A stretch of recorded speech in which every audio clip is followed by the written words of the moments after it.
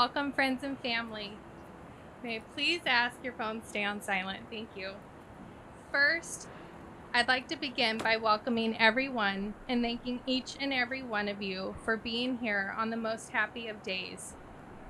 It's no accident that each of you are here today, and each of you were invited to be here because you represent someone important in the individual and collective lives of Brad and Cindy. I truly can't think of a better location than by the ocean for an occasion that I know is not only monumental for the wedded couple to be, but for all of us who are lucky to know and love them as individuals, but even more so as a perfect pairing. The most remarkable moment in life is when you meet the person who makes you feel complete, the person who makes your world a beautiful and magical place. The person with whom you share a bond so special that it transcends normal relationships and becomes something so pure and so wonderful that you can't imagine spending another day of your life without them. For Cindy, that happened about nine years ago when we met.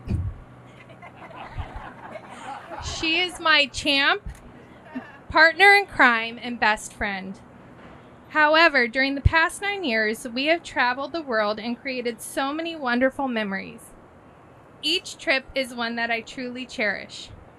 I know with all these amazing trips and memories that we have created, it has made Brad a pretty lucky guy, too.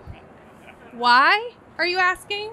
Well, he gets to share such a wonderful sh- friendship with me, too. I know how deeply these two care for and love one another, and I feel privileged to be here today among all of you as a witness of their commitment to a lifetime of love for one another. I think I've had the good fortune to meet most of you here today at some point or another. But for those of you whom I haven't met, my name is Kelly. I am one of Brad and Cindy's closest friends. I have had the privilege to work alongside Cindy for nearly nine years. She is more than just a coworker, she is my family and my dearest friend. Now, Brad and Cindy have asked that I keep this speech short, classy, family friendly, and politely asked me to leave out stories that are unflattering to either of them. So I won't discuss what happened on that one trip. There are lots of those stories that we could talk about, but I guess you would have to be there. So let's move on. As a third party spectator to their developing love, it was extremely clear that the two of them represent a perfect pairing because each of them complements the other so well. They balance one another. And while each of them are tremendous individuals on their own, together they are even better. And being better together as a team, a unit, and partners in crime is what has been many years in the making and ultimately leads us to being here today, witnessing their commitment to one another in front of those they love most. I wish I could tell you a single story about Brad and Cindy that summarizes their relationship and how they enrich each other's lives, the lives of each of us. But the truth is, there isn't one single event that is a good encapsulation of what they mean to me, to each other, and to all of us. But what I do know is that both of them care deeply and passionately for each other. They protect each other. They make each other laugh and think outside themselves. That time magically seems to both fly and slow down when they're together. They help each other in ways that are obvious and unnoticed, but always appreciated. I also know that it's not just anyone with whom you can have a communication with, it can simply be a look or trying to remember where Bradford has left the screwdriver when doing his chores around their house. Or when Cinderella has a surprise Amazon package being delivered to the door. Or even just to say, I'm sorry, every time it's warranted, eventually. They do that for and with each other. But it's also my personal experience with Brad and Cindy that highlight the quality of their love. It doesn't matter if I'm with them in person or simply in a silly group text with them. When I am engaging with Brad and Cindy, I am always enjoying myself. I am certain that's part of what makes them so special to each of us. How happy and content we feel when we are with them. And what I wish for them on their wedding day is that their lifetime together as a team is one one of complete contentment, full of those moments that they wish would never end, and that they continue to make one another smile and laugh as they do as they make each of us do. So without further ado, dearly beloved and honored guests, we are gathered here to join Brad and Cindy in the union of marriage. This contract is not to be entered into lightly, but thoughtfully and seriously, and with deep realization of its obligations and responsibilities. The bride and groom have each prepared their vows and will now read them. Cindy, if you would share your vows with Brad.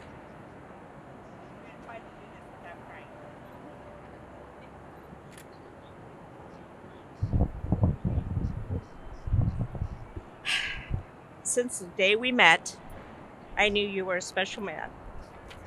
Dang it! Sorry. And even though you wanted to share my tequila, I knew that we can overcome that small misunderstanding. uh, from that day forward, I became a true believer that you do not find true love, but true love finds you. You have always loved me without reservations. You praise me in a way that I've never thought possible. And because of you, I have become the best woman and mother I can be. Sorry. I cannot promise I will always be the perfect wife, but I promise to love you always unconditionally and without boundaries. I promise to always be your biggest fan and your best friend. I promise to remember you are not that we are not perfect, but only perfect for each other. Thank you for being the man of my dreams. Everything in me recognizes you're my heart, my home, and your arms my shelter. I will love, honor you, respect you, and cherish you, not because I have to, because I get to. Sorry. I love the way that you're always ready to dance. I love that you always push my eyebrows apart when we're in a serious conversation. I love that you kiss me every night before bed and wish me sweet dreams. I promise to listen to you when you speak, even though I don't agree. I promise to grow old beside you, but also promise never to grow old. I choose you, and I'll choose you over and over and over again, without a doubt. Falling in love with you was not falling at all. It was walking into a house and knowing that you're my home. I love you today and all the days of my life.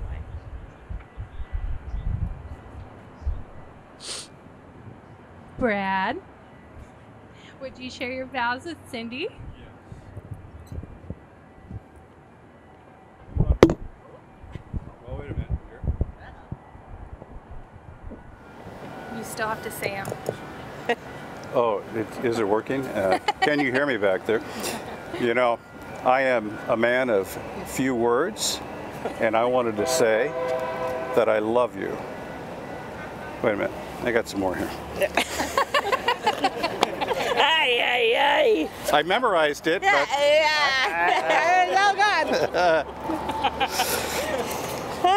and I don't want to blow this. I love you. You are my best friend, my playmate, my confidant. I promise to encourage and inspire you, to laugh with you and comfort you in times of sorrow and struggle. You are the love of my life, and you make me happier than I ever imagined possible. More love than ever possible. You've made me a better person. I promise to love you in good times and bad, when life seems easy and when it seems hard. I promise to cherish you and always hold you in the highest regard. I am truly blessed to be a part of your life, which as of today becomes our life together. Hmm. Even when you steal my pillow. I had to throw that in there.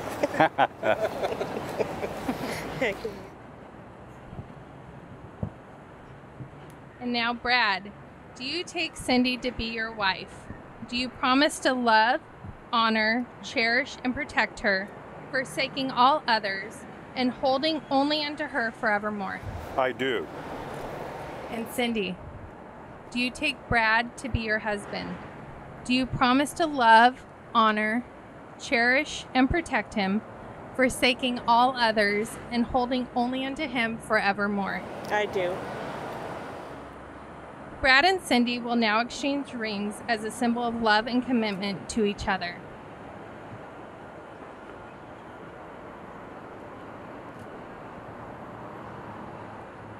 Rings are a precious metal. They are also made precious by you wearing them. Your wedding rings are special, they enhance who you are. They mark the beginning of your long journey together. Your wedding ring is a circle, a symbol of love never ending.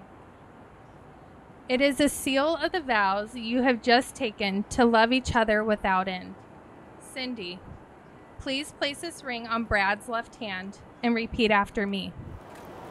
As a sign of my love, As a sign of my love, that I have chosen you that I have chosen you above all else, above all else. with this ring With I this thee wed. ring, I would be wed. And Brad, place this ring on Cindy's left hand and repeat after me. As a sign of my love, No, not Sorry. that one. left hand, left hand.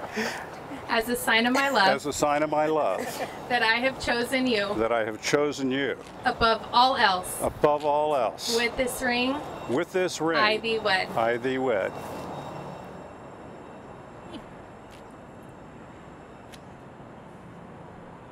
The couple has just sealed their relationship with the exchange of vows and giving and receiving of rings. Today, their relationship is further symbolized by the tying of a knot.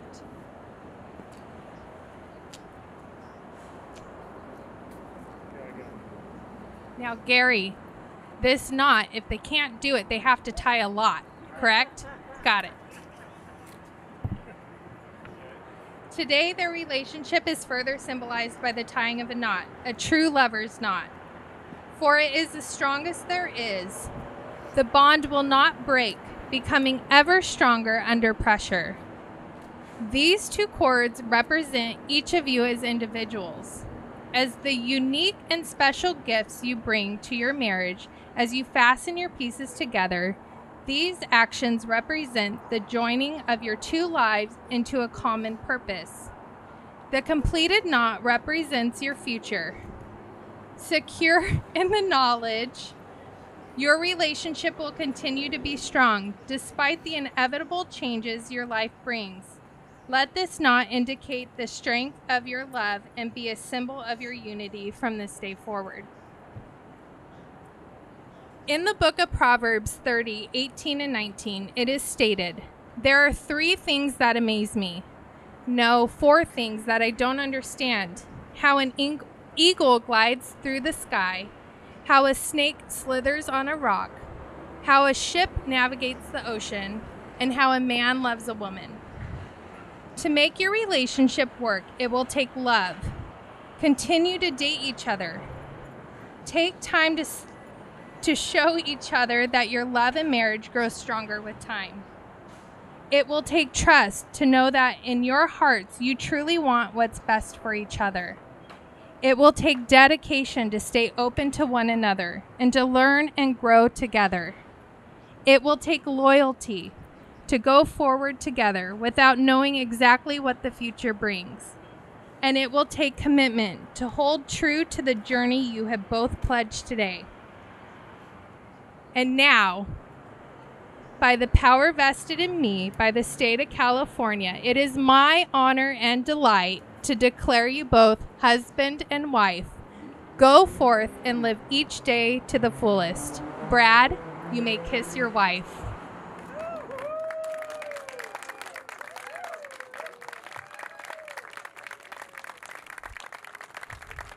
I'm so honored and delighted to present the newlyweds, Mr. and Ms. Brad and Cindy Card.